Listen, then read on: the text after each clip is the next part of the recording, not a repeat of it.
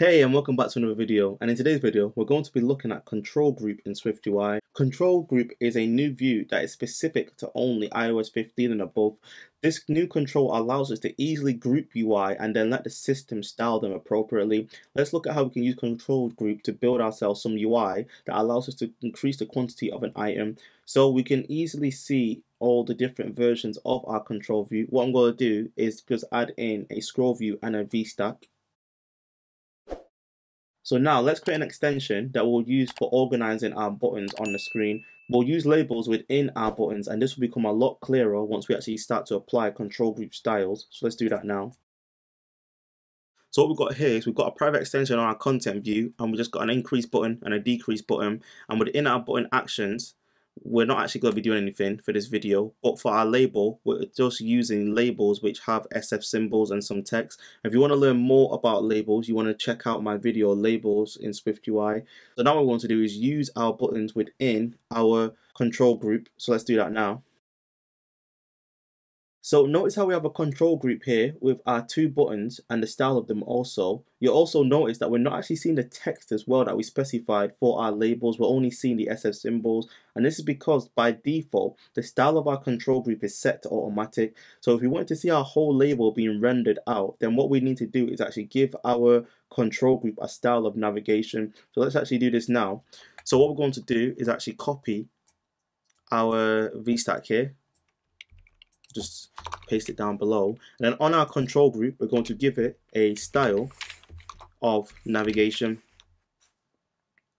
So you can see here the difference between the two. We almost get like this stepper style here when we're working with the um, control group's automatic style. But when we change it to navigation, we get the system buttons and we also get it rendering it out here. So you get two different styles depending on which one it is that you want to use. But what we could also do as well is we could actually go one step further and actually create our own control group style where we actually control how it gets rendered on the screen. So what we're going to do is create a control group style where we have a label at the top here for our quantity rather than this text here and we have our buttons within it. So let's create a new file and this time we're going to call it control group plus quantity style and in order to actually access the and make our own custom style, we need to use the control group style protocol. So let's let's type this out and break it down. So once we use the control control group style protocol on our struct, what we then need to do is you're able to see that on the on the configuration, you're able to access the content within your control group. What we're going to do now is actually add in some controls and then add in some styles and then break it down. So what we've got here is we've got a V stack and we're saying that we want the alignment of it to be leading, so to the left hand side. And then within it, we've got our label and we're going to use the system image bag. And then we're going to give it a font where we set it to the body size and set the weight of it to bold. And then within our control groups and then we're going to add in a H stack which is what we're going to use for our content. So this H stack is what's going to hold our buttons. So because we're adding in a H stack it's going to lay out our buttons horizontally like so. So let's actually just go back to our content view.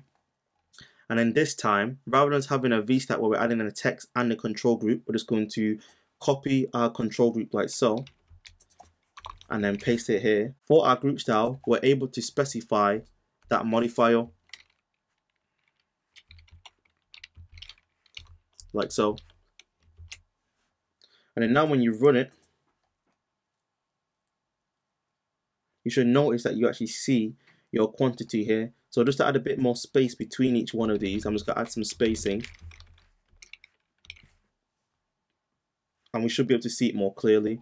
Now, this is all good and well, but what we could do is we could actually copy what, we have here with a dot notation, and we can actually create an extension on our control groups. Let's do that now.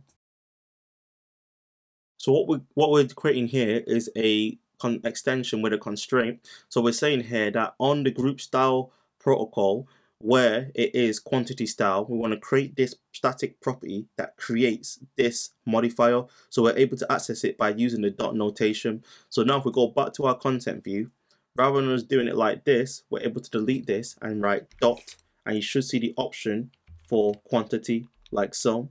And that gives us the same style that we had before, which is exactly what we want.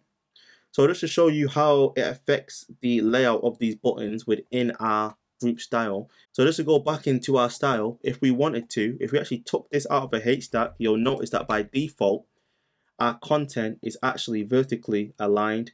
But what we want is we want it to actually be horizontally aligned like so. So let's actually just remove this comments and we'll just put it back inside of a stack like so. So we get this style. Okay, cool. So that was everything in today's video. I hope you enjoyed it. If you did, then I'd really appreciate it if you left a comment in the comment section below. Also as well, if you haven't already, I really appreciate it if you give this video a thumbs up as well as subscribe to the channel and hit the notification bell to get updates for whenever I release a new video. That's everything from me. I'll catch you on a bit. Deuces.